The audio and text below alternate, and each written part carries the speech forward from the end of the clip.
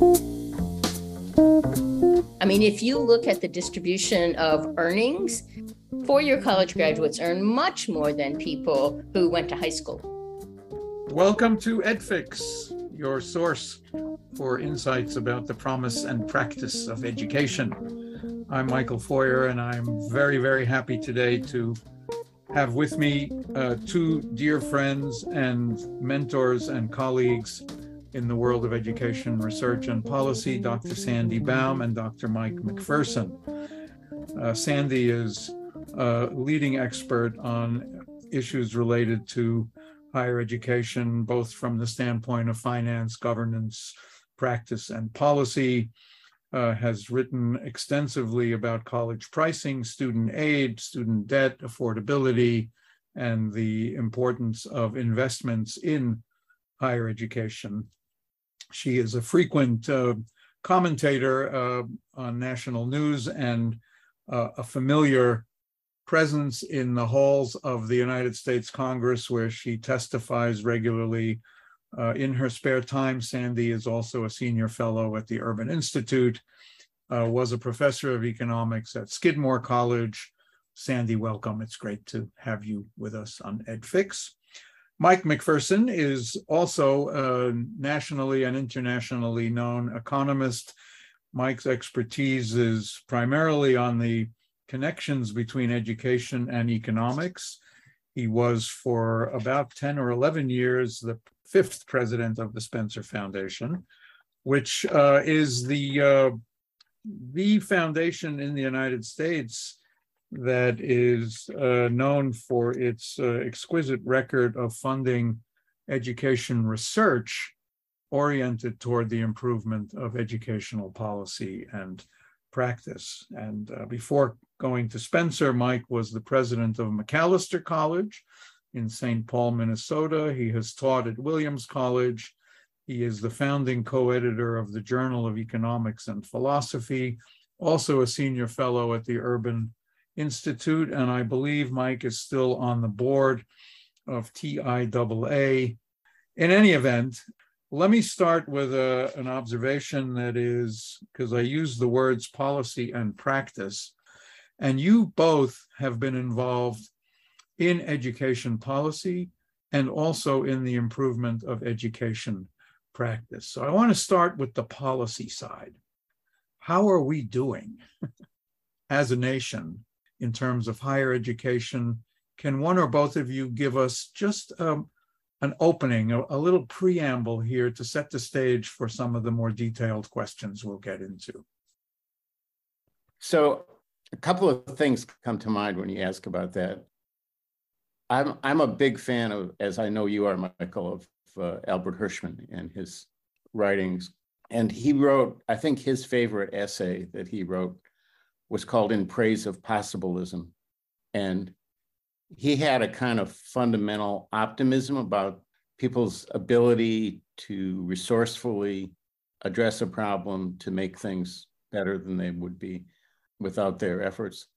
And, uh, you know, not everything obviously is right about American higher education by a long shot. But one of the things I think that both of us, both Sandy and I, would like to see is that we managed to have dialogues that are more about the future of higher education and less about, frankly, uh, student loan forgiveness and other policies that are about let's go back to the past and try to fix the past. And that conversation has kind of drowned out a lot of discussion of, well, if there are big problems with the student aid system, uh, how about we focus our attention on the rising generation that's going to have to confront that system? So I very future oriented, and I think there are plenty of uh, potentials for us to do better in the future. I don't know, Sandy? Yeah, so I guess I would say that I think um, we are doing much better than much of the public discourse would lead one to believe. I mean, every day you read some article about how people don't believe that higher education is a positive force in the world or college is so expensive that no one can afford to go anymore. And those things, I mean, what people say in a survey, I don't know, it depends on what the questions, what questions they ask and so on. The fact is that higher education does a, a basically very good job of creating opportunities for a very wide range of people in our society. We have a diverse and mostly, but not entirely, high quality system of higher education. And the fact is that people do access it, and at increasing levels, a, a, diverse population of people access it and mostly have good outcomes. But we have a tendency to focus on the problems as we should because we need to fix them, but we need to fix them in the context of the the strong system that we have built and not just try to tear it apart and start over. Say a little bit more uh, about what it is in the data that reassures you that basically the system is doing a lot of good in terms of enrollment, participation rates, minority enrollment, any of those kinds of indicators that could amplify the case that you've just made? Well, the, the share of high school graduates who go on to college, I mean, it fluctuates year to year, but is very high by historical standards. The share of students from low income backgrounds, the share of students from underrepresented groups who go to college, um, again, they fluctuate year to year, but but we are there has been certainly positive change over time, which is not to say we should be satisfied. I mean, it's definitely true that students from high, high income backgrounds are much more likely to go to college than those from the lower half of the income distribution. Um, we know that if you come from a low income background and you get at least a bachelor's degree, you are quite likely to move up in the socioeconomic scale and if you don't, you're probably going to be stuck. So, higher education definitely helps individuals to improve their lives. That said, when we talk about higher education, higher education is not monolithic. And there are some higher education institutions, some programs, some directions that don't serve, you know, serve almost no one very well. We need a lot of improvement. There's a lot of stratification within higher education, though, like you know, rich people go to different colleges from from low income people and they have different levels of success. I mean, we have a real problem with getting people into college and not getting them through. Yeah, I would I would add to that if I could. There is a very big problem about people not completing their uh, college programs, either whether they're going for a certificate, for an associate's degree, or a bachelor's degree. But particularly if you if you manage to complete a bachelor's program.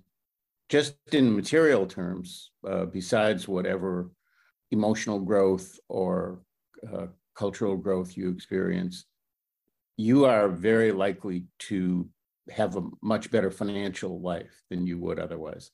The, the economic returns to college uh, remain quite high. In fact, they remain historically high. Uh, and in our view, they're probably too high because they contribute to the inequality that most of us would like to see, see reduced. And in our view, the way to bring the returns down to a more normal level would be to have more people complete college. So a bigger supply of college graduates. But the basic story is still an optimistic one. You know, if you if you were giving advice to an 18 year old or a 30 year old about should I try to get a, a college experience? I think any anybody would want to offer, yeah, you should. You know, you should be smart about what what what your interests are and what your preparation is. Uh, but if you can have a successful experience in college, it's going to make your life better. Uh, can I just add that this all doesn't mean that the answer is that everybody should go to college. These frequently you see efforts uh, to urge people to hire people who don't have a college education and efforts to offer training outside of higher education institutions as a suggestion that there's something wrong with higher education. And that that doesn't really make much sense. I mean it would we would solve more of the problems that mike is talking about if people could have better lives and more successful careers without a college education and everybody didn't have to go because there was no alternative. So it's not a negative about higher education if there are good paths for people outside of it. That doesn't mean there's something wrong with higher education. It means that we've structured the world in a better way with more viable options for people. Let me pick up on the one of the points that you've both just made, which is about the returns to the investment in higher education. There is still some, shall we say, inflammatory rhetoric out there about how the returns to higher education are either not what they're cracked up to be, or that the system is is tilted in such a way that people who are able to afford and get into rather more selective colleges either do or do not do not get a, a bigger premium in terms of earnings postgraduate et cetera so i mean one issue is that of course the outcomes are quite varied of higher education i mean it is not hard to find people who went to college and didn't complete and ended up worse off than if they hadn't gone. It's not hard to find people who earned a credential and that credential has proved not to be worth much in the labor market. And therefore they say, well, it wasn't worth it. I mean, if you look at the distribution of earnings, four-year college graduates earn much more than people who went to high school. But you can certainly find a high school graduate who never went to college who earns more than the average for college graduates. So it's not like, oh, this is a free ticket. You have a degree, you're set for life. There are so many other variables that play into it. And people are much more fond of finding the examples that show higher education in a bad light than they are of showing examples of higher education, showing higher education in a good light. But I would also say that absolutely, you said, is the system tilted? Absolutely, tilted is too mild a word. I mean, the system is very biased in favor of people from uh, backgrounds, both that are upper income backgrounds and also where their parents also have a college education. If you are growing up in a household that is one low income and two, your parents didn't go to college, you face all kinds of barriers that other people don't. It's harder for you to prepare for college. It's harder for you to know how to make decisions about applying to and getting into college. It's harder for you to get through college. And you're much more likely to go to a college that has less of a success record and is under resourced. So, yeah, the system is very tilted. We definitely need to do something to reduce the inequality of opportunities available to people. So, none of anything we've said implies that we're all fine and we shouldn't be worried about inequalities within higher education. Which is, of course, the main topic of your latest book. I've read the book, uh, I've heard you talk about it at least once. Uh, I'm recommending it for for my colleagues and students and others because anybody who's interested in, for example, the vision of higher education, whether from an institution standpoint, and we will get back to that in a moment, or whether you know nationally speaking, uh, some of the the theme in your book about the effects of inequality on educational opportunity in the post-secondary sector and the effect of changes in the post-secondary sector on the distribution of earnings and income in the other direction. These are these are very fundamental and very important points for anybody working on education policy. But I want to I, I want to shift to a, a question about comparing us to other countries.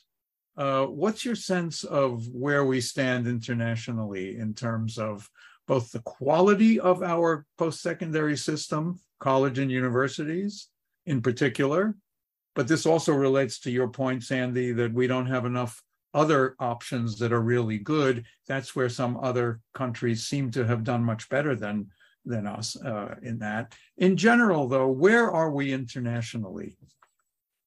Well, the world's a big place, uh, and and I think it's important not to overgeneralize. I mean, we we need to think about, you know, Asian countries that have been very successful in recent years.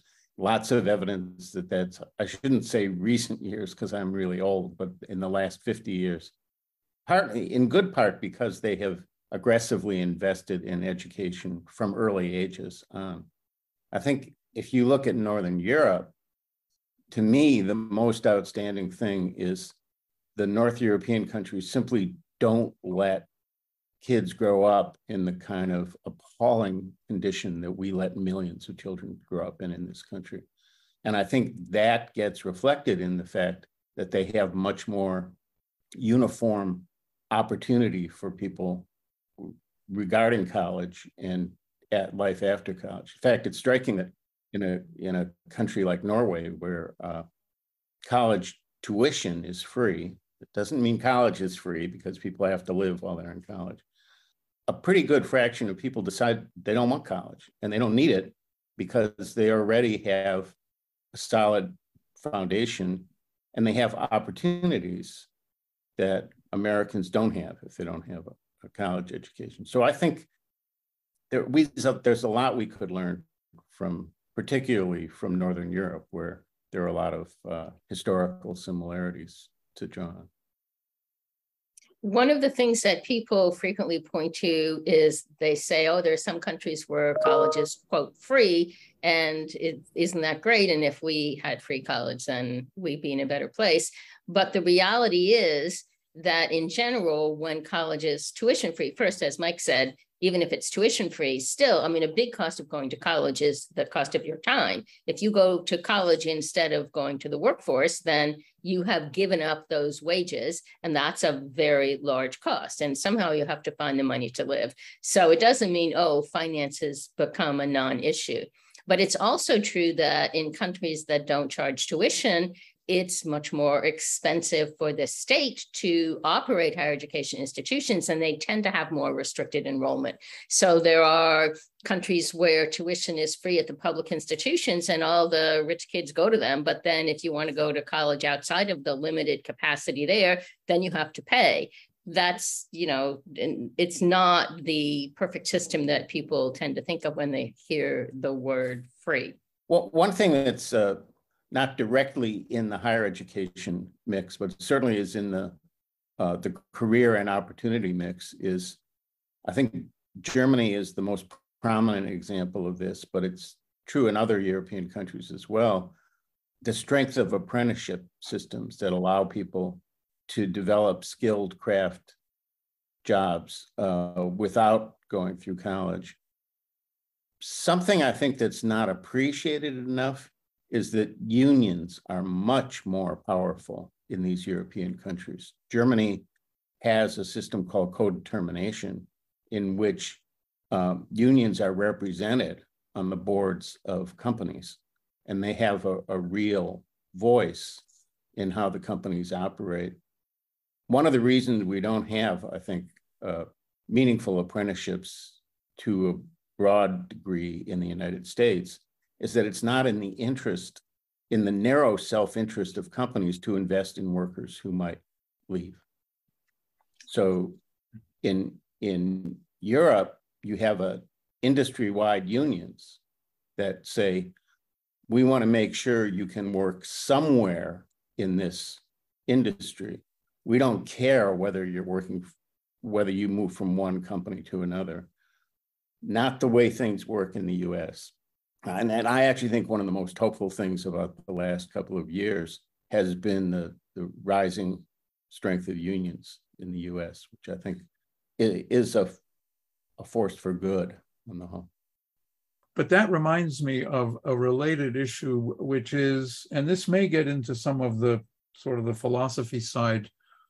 Our system of higher education is fundamentally different from most of the other countries of the world, in large part because of the mix of private and public, and because of the diversity. And I don't know how many institutions we have now, upwards of 2,000 or more, and great variability both in finance, governance, control, et cetera.